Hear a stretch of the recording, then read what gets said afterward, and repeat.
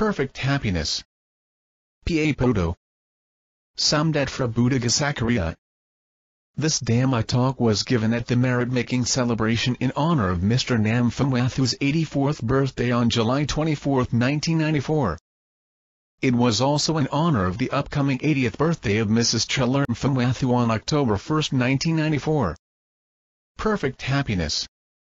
Birth of wholesome mind states is the supreme birth. Everyone is searching for happiness. Undeniably, happiness is a desirable thing. Although some people may not realize it, however, happiness is something we can generate on the spot, within our own hearts. Whenever we are endowed with such qualities as faith, love, a sense of friendship, joy, and clarity of mind, happiness arises spontaneously, in an instant. Today we are celebrating a birthday. If we think of a birthday as marking the day when our lives began when we came into the world then we are thinking of the past. The past is no longer the present. As its name suggests, it has passed us by and can only be remembered. We cannot go back in time and relive any past events. But if we are familiar with the Buddha's teachings, a birthday offers us an immediate and important opportunity to engage in spiritual practice, namely, to bring about and cultivate such qualities as trust, loving kindness, gladness, serenity, and contentment. In short, we give birth to wholesome mind states, Generating wholesome mind states the greatest of all births gives accuracy to the term birthday. This conforms to the Buddha's teachings. In truth, we are born in every moment, both physiologically and mentally. In terms of the mind, we can say there are both positive and negative births. Examples of negative births include the birth of anger, depression, delusion, misery, sorrow, etc. These are obviously unwholesome states that should be prevented from arising. Instead, we should strive to give birth to wholesome states. Today we are celebrating a birthday and auspicious day. We can use this day as a new dawn, an opportunity to generate the most excellent qualities in the mind.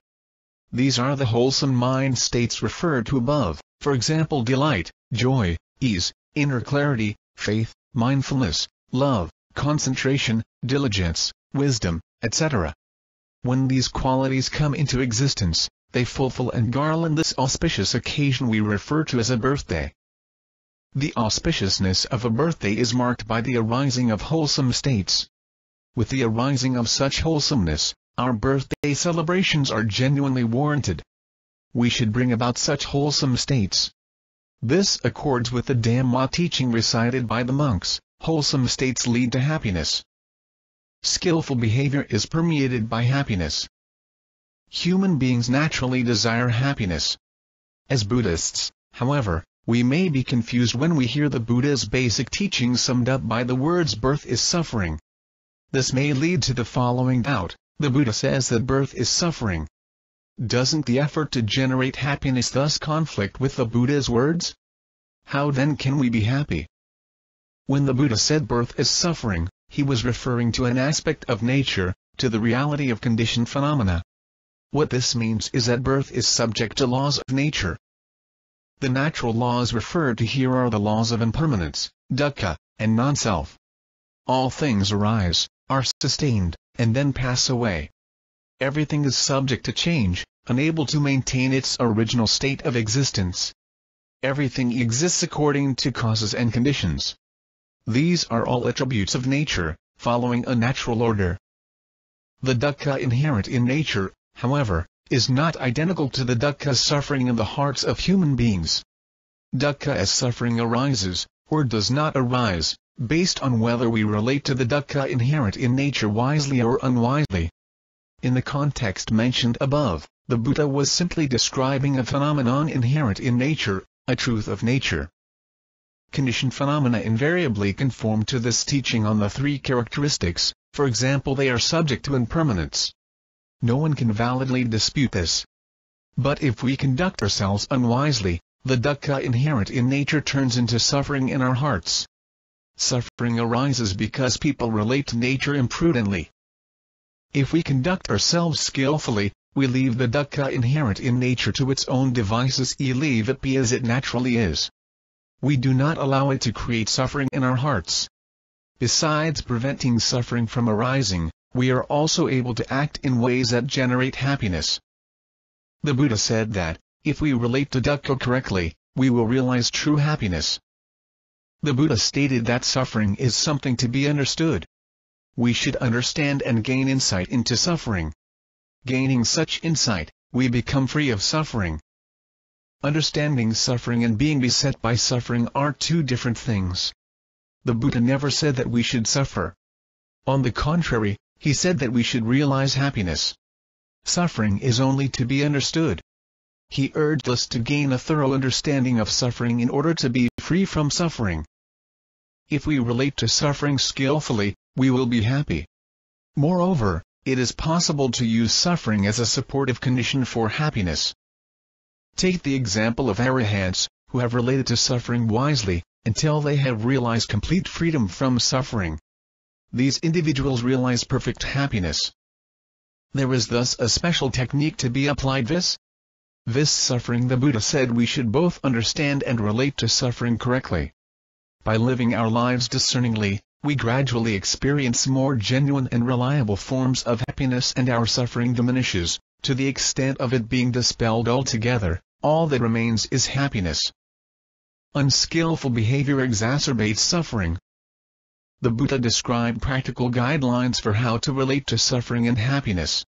In one passage, he mentions three factors, which when expanded upon according to the scriptural explanations, result in four factors. Here, the Buddha summarizes the criteria for relating to suffering and happiness, as follows. 1. To refrain from creating extra, unnecessary suffering for oneself. 2. To not forsake righteous forms of happiness. 3. To not indulge in any sort of happiness, even righteous happiness. 4. To strive in order to realize higher forms of happiness. This is a vital teaching. If we are able to accord with these principles, it can be said that we are practicing correctly in relation to suffering and happiness. 1. Refraining from unnecessary suffering. We live in the world. Our lives proceed in line with the nature of conditioned phenomena.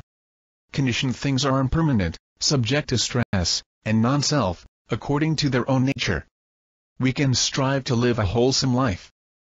The dukkha inherent in nature is what it is. We have no conflict with this. We do not add to it. We do not exacerbate or pile on unnecessary suffering. By refraining in this way, we reach one level of ease and well-being. If we conduct ourselves unwisely, the dukkha of nature spills over as suffering in our hearts. We intensify and aggravate suffering. There are many people in the world who misguidedly go off in search of unnecessary suffering, keeping it up in their hearts. The scriptural passage referred to above occurs in the context of a debate the Buddha was having with members of the Nigantha order. In this sutta, we see a clear example of an extreme expression of intensifying or exacerbating suffering. The Nigantha doctrine espoused the undertaking of extreme ascetic practices, the Nigantha practiced many kinds of ascetic practices in self-mortification. For instance, instead of using a razor to shave their heads, Nigantha renunciants would pluck out each hair by the root until they were bald. In ancient times, there were myriad forms of ascetic practices. For example, in the hot season, ascetics would lie out in the baking sun. And in the cold season, they would immerse themselves in icy waters when resting, Instead of lying on a comfortable, flat surface, they would lie on a bed of nails. These are all means of self-mortification, of intensifying physical suffering. Why did Nigantha practices in this way?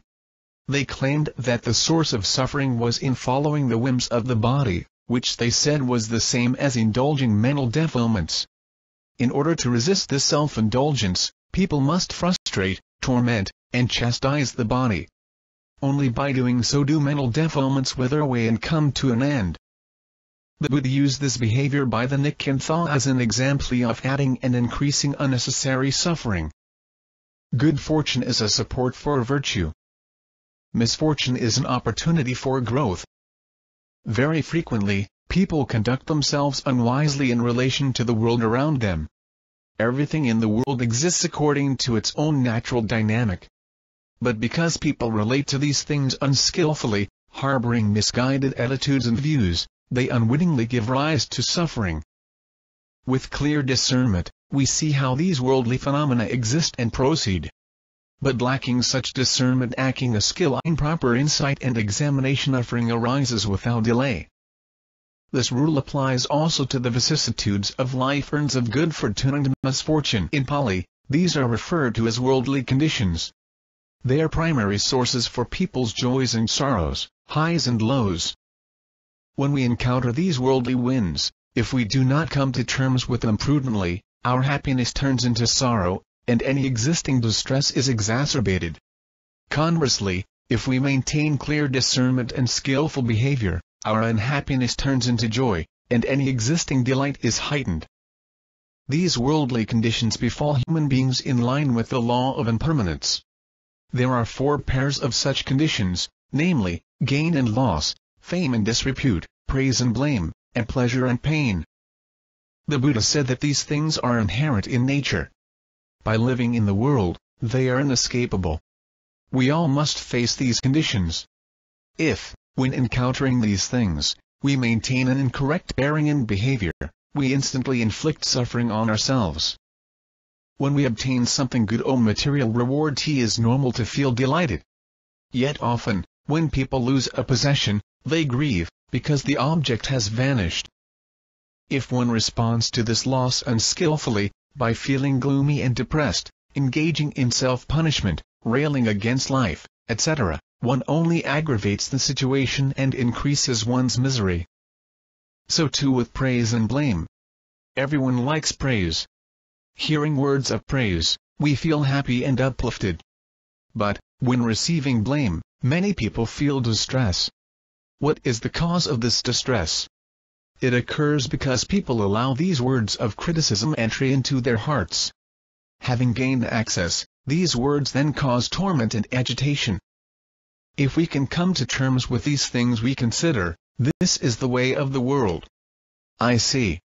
The Buddha declared that by living in the world there is no escape from these worldly conditions.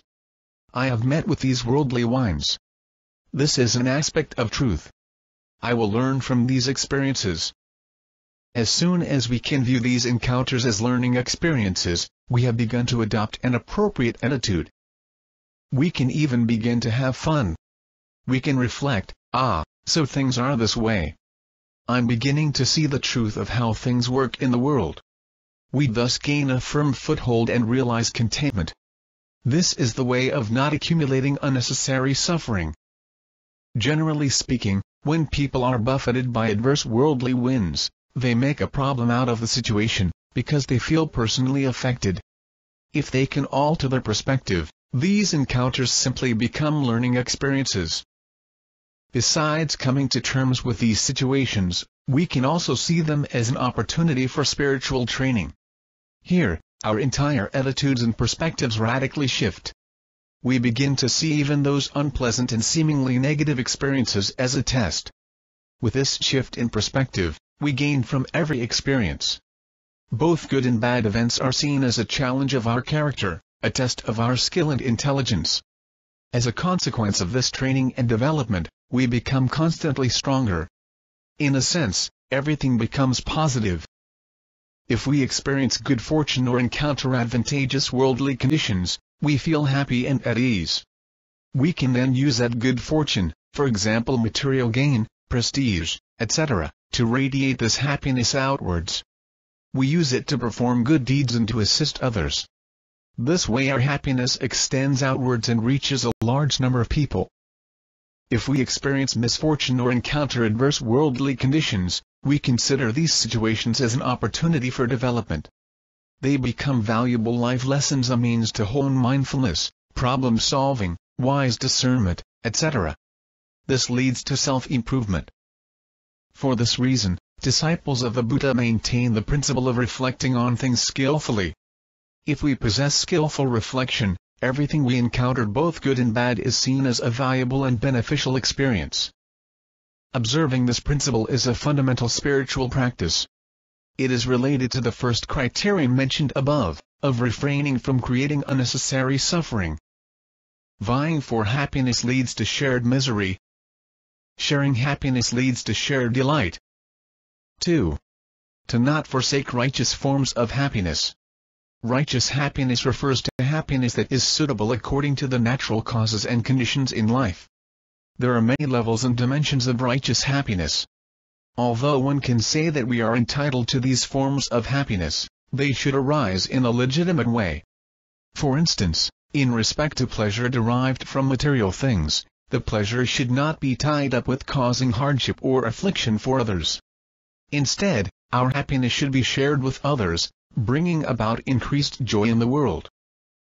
If our happiness is founded on the suffering of others, it is unrighteous happiness.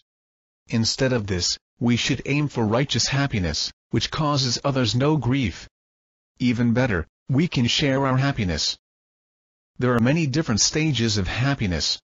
One way to describe the different kinds of happiness is by this threefold division. 1. Competitive happiness. 2. Compatible or collective happiness. 3. Independent happiness. Competitive happiness implies that when others are happy, we are miserable. When we are happy, others are miserable. For the most part, this kind of happiness is linked to material things. Pleasure connected to material things involves obtaining or possessing something.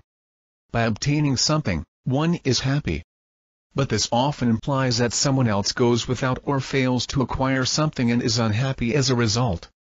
Similarly, when someone else obtains something, it means that we cannot have this thing and may be disappointed and unhappy as a result.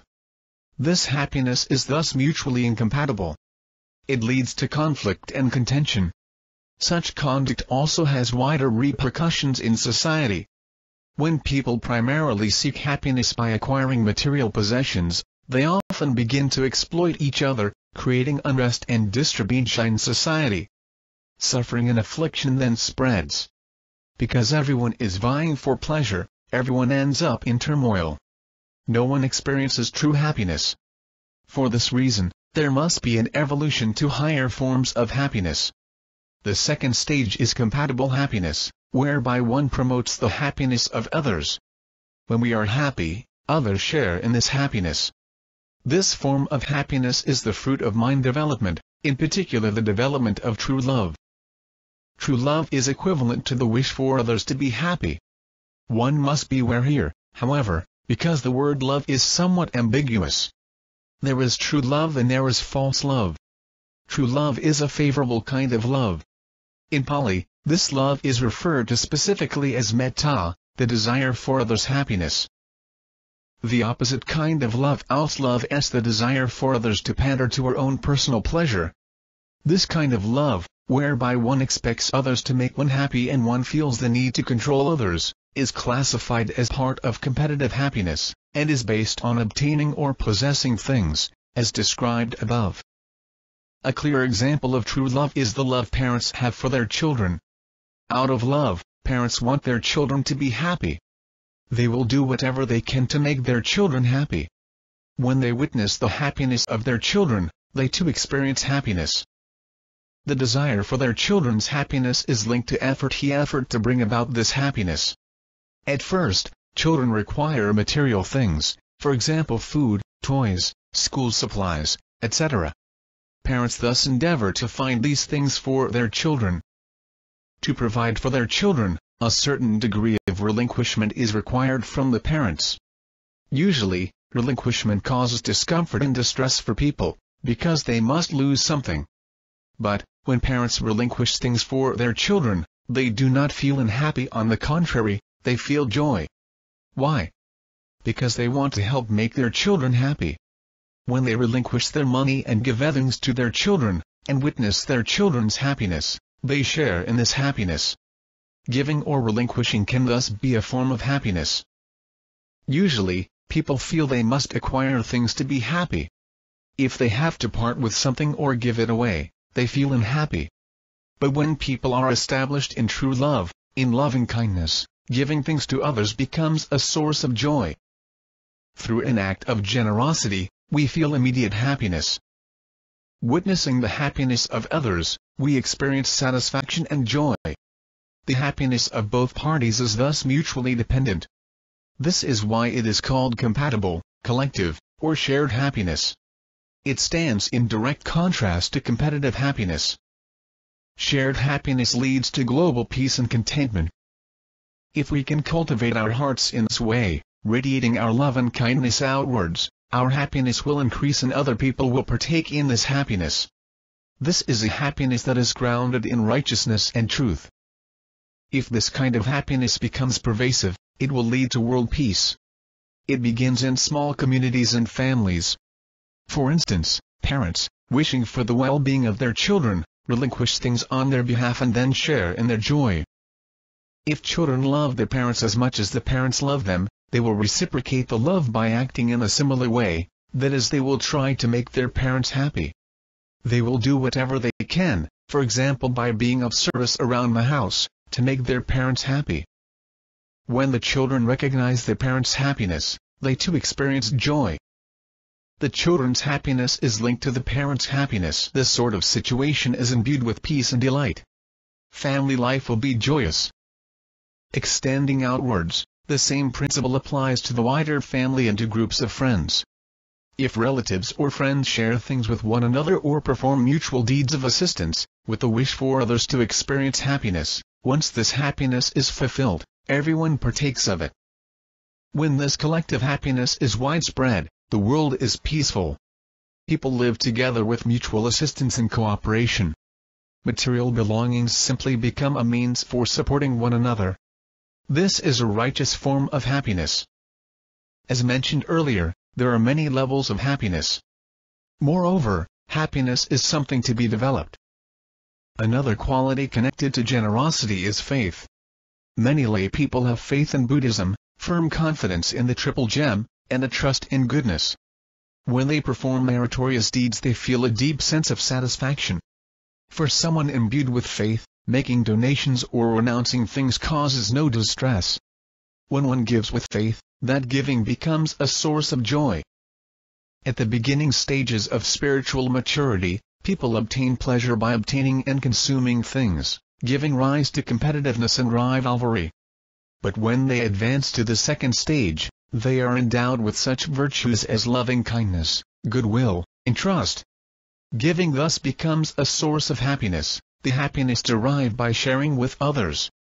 People evolve from competitive happiness to a collective, mutually supportive happiness. As human beings, we can mature the quality of our happiness.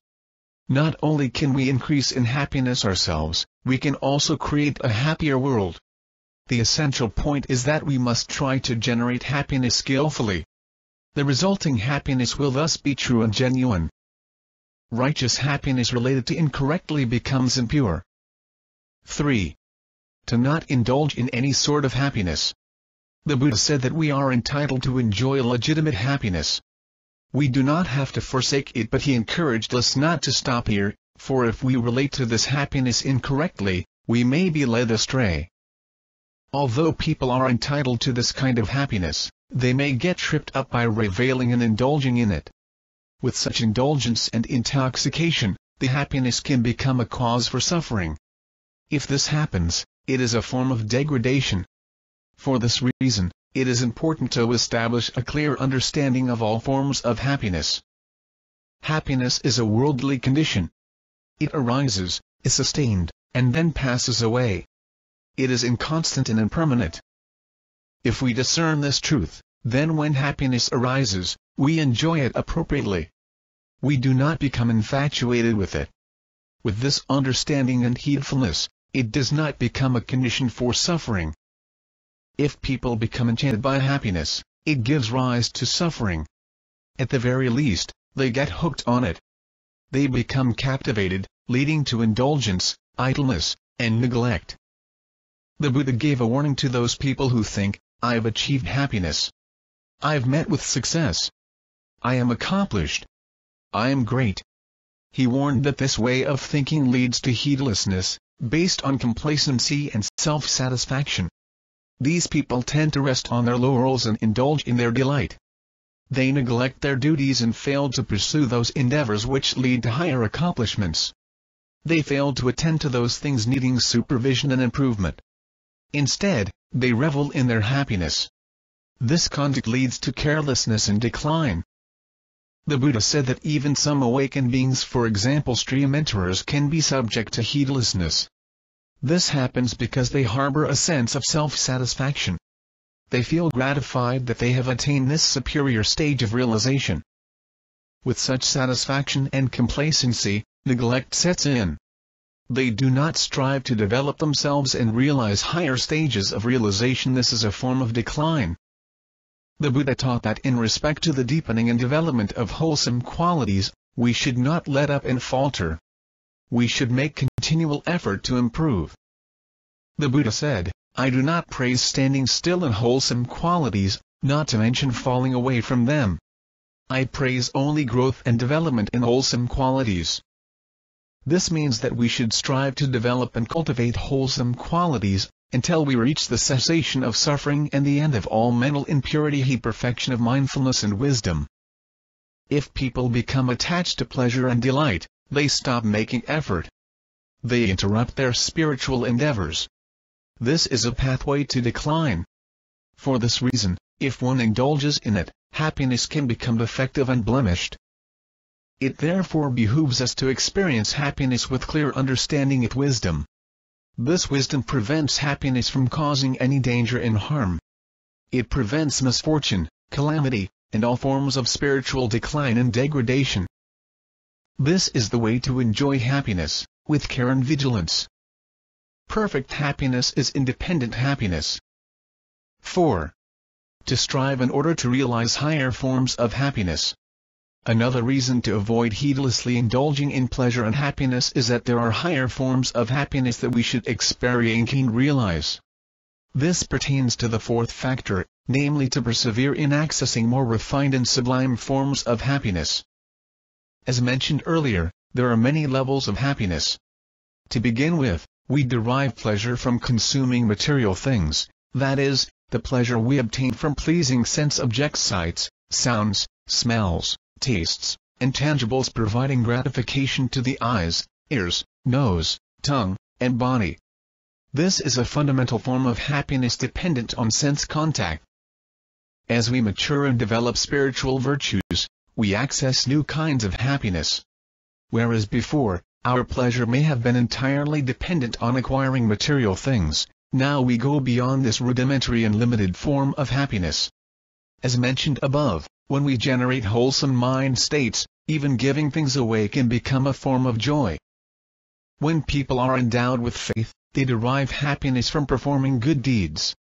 Whenever they remember the meritorious deeds they have done, they feel delight and fulfillment. They are happy that they have benefited other people and helped society. If we are vigilant on content with rudimentary forms of pleasure E will be able to develop and generate many superior forms of happiness. We will pass beyond even the happiness derived from doing good deeds, and realize a happiness grounded in wisdom.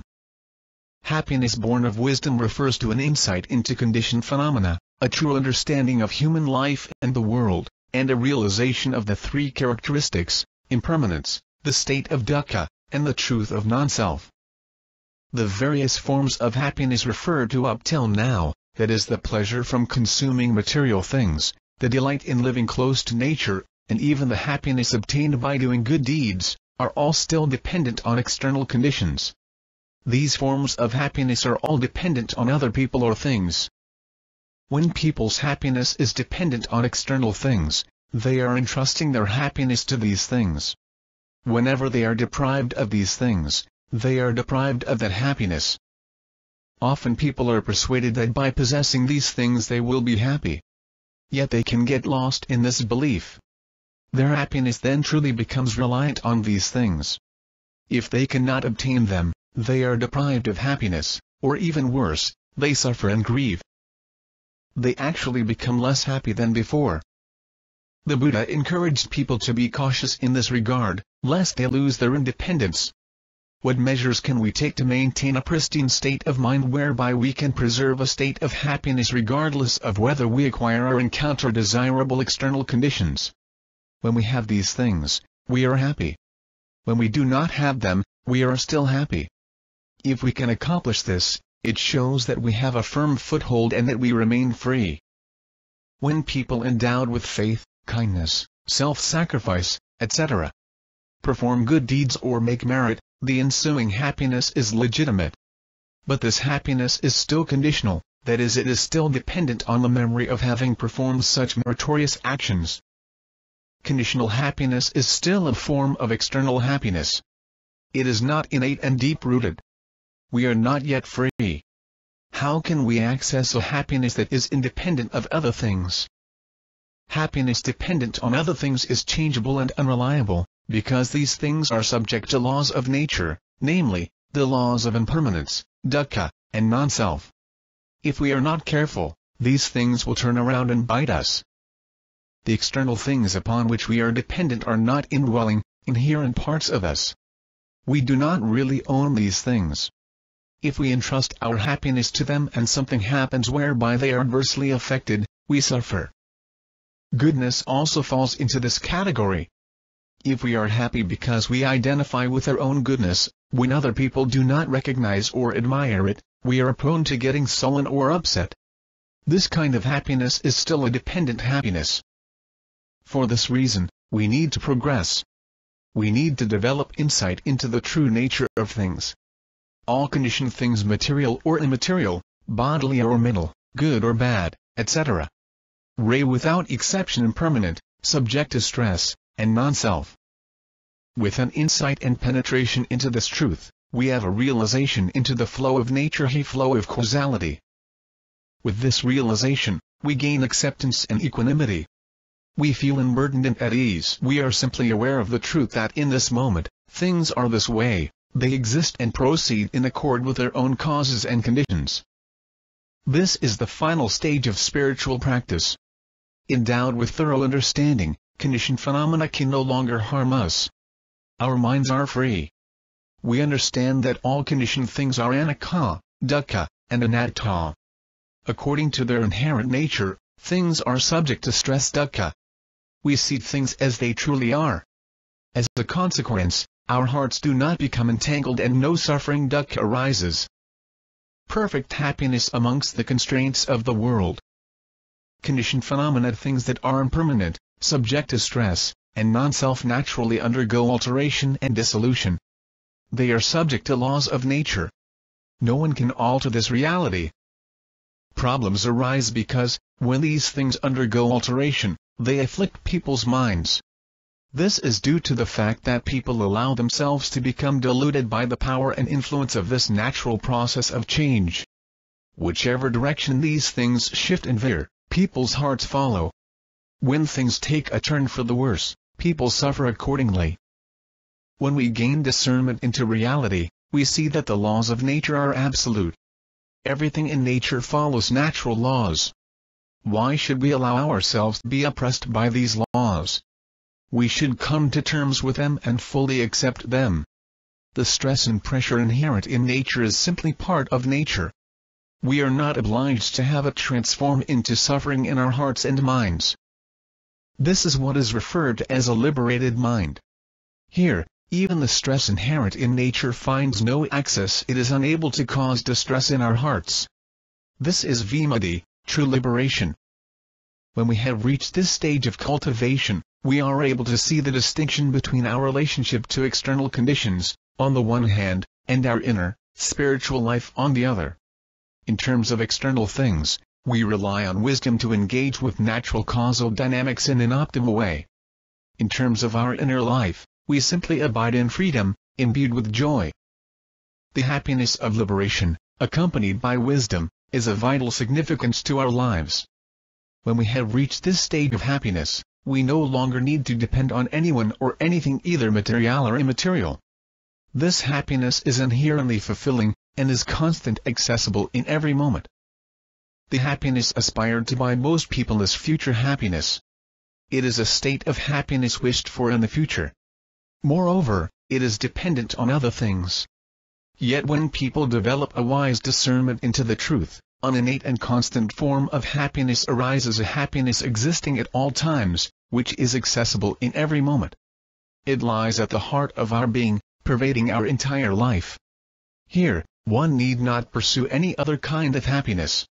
If other forms of happiness or pleasure present themselves, they are seen as a bonus, and one has the option to partake of them or not, without anxiety, in whatever way one pleases.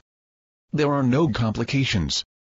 And when these supplementary forms of happiness are absent, it has no effect on one's well-being. One already abides in a state of constant happiness. At this stage, nothing remains to be done for oneself personally one has fulfilled one's personal responsibilities. One then dedicates all one's remaining energy to benefit and improve the world. This is perfect happiness and is equivalent to an ideal life. Cultivating virtue, cultivating happiness, I have cited some passages here from the book titled An Ideal Life, which has been published for today's celebration. Although the subject matter of that book is not identical to today's Dhamma talk on happiness, there is an intimate connection. Having discussed the present topic, the upshot is that these two topics merge, that is, perfect happiness corresponds to an ideal life. No matter what aspect of the Buddha's teachings one focuses on, in the end, all the teachings merge into a unified whole. This is because the Dhamma mirrors the truth of nature. All facets of this truth of nature are interconnected. They interact with one another. Hence, Al Buddha's teachings combine into an integrated unity. To sum up, the Buddha mentioned four principles on how to relateto happiness. 1. To refrain from creating extra, unnecessary suffering for oneself. 2 to not forsake righteous forms of happiness. 3. To not indulge in any sort of happiness, even righteous happiness. 4. To strive in order to realize higher forms of happiness, thus bringing happiness to perfection. If you can maintain and practice these principles, your life will flourish and you will realize secure, constant happiness, a happiness that is grounded on a steady basis of wholesome mental qualities, for example loving kindness and faith. These qualities bring about a sense of inner well-being, and they spur people on to engage in wholesome deeds. By recollecting on the good they have done, people feel satisfied and delighted. This satisfaction enhances their sustained, secure sense of ease and well-being, and it goes hand in hand with the vital quality of wisdom. Wisdom safeguards the heart, preventing it from being dominated and overwhelmed by the rough currents of nature, and it facilitates the realization of liberation freedom of the heart. The development of wholesome qualities, including kindness, confidence, wisdom, etc., leads to the arising of genuine auspiciousness. The birth of wholesome mind states is thus an excellent birth. Today we are celebrating a birthday. May this day symbolize the birth of wholesome qualities. By generating wholesome qualities, blessings arise immediately. Everyone here has generated wholesome qualities by maintaining and expressing a feeling of love and goodwill towards the host of today's celebration. Love and friendliness are forms of well-wishing they represent desire for someone else's happiness. A heart filled with love is itself endowed with the blessing of happiness. For this reason, it can be said that all of you today have already been generating wholesome mind states. Now you have the opportunity to increase these wholesome qualities. Besides meeting together in the spirit of friendship and goodwill, you express your love and kindness through speech and physical actions. You collectively provide active assistance and engage in meritorious deeds within the context of the Buddhist tradition, for instance by offering gifts to the monastic Sangha. These offerings provide the monks with the strength to perform their religious duties, thus enabling Buddhism to flourish and grow. You have thus also helped to support and extend the life of the Buddhist religion. When Buddhism prospers, well-being and happiness are shared amongst the people. When the Buddha's teachings are widely accessible, people grow in virtuous conduct and society is more firmly established in peace. So, we can say that today you have also generated more happiness for society as a whole. Here, your wholesome qualities extend in all directions, if you can reflect on this, it is possible that you will feel ever greater bliss and contentment. Besides performing outward meritorious deeds, it is also essential that we cultivate wise and skillful reflection. With wise reflection, our wholesome qualities are amplified. This is evident today. You have come to make offerings to the monastic community, have been practicing generosity, and are developing wholesome qualities. By reflecting wisely, you recognize, oh yes, these offerings are requisites for the Sangha, enabling the monks to fulfill their religious responsibilities. You can then expand your perspective, seeing the benefits accrued for Buddhism as a whole, the monks will be able to study the Buddha's formal teachings, and they will be able to practice these teachings and engage in both tranquility and insight meditation.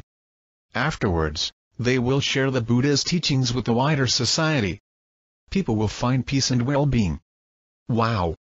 The meritorious actions performed today have such a broad and extensive significance. The broader our perspective, the greater our joy. This is the fruit of wise reflection. People's wholesome actions have benefits spanning three periods of time. 1. Past.